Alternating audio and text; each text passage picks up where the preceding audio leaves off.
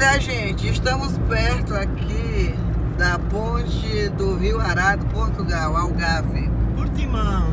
Portimão. Sim, mas Portimão fica no Algarve, minha filha. Ah, sim, sim.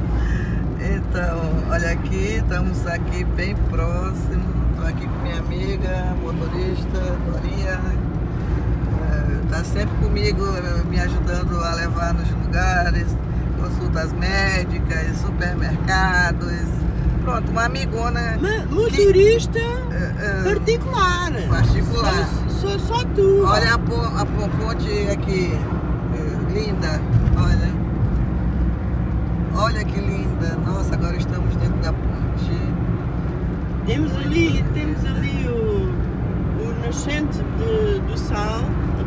lado. O nascente do sal aqui ao lado, olha. Sal puro. Sal puríssimo, gente.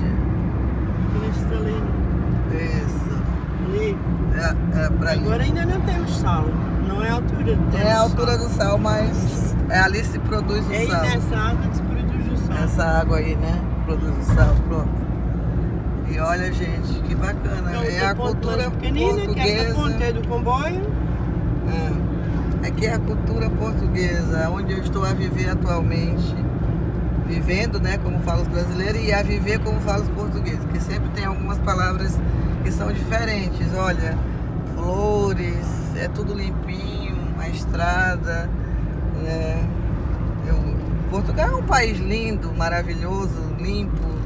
Tem uns problemas na, na- problemas na área da saúde, da educação, mas isso é em todo mundo, né? Isso é mundial, infelizmente?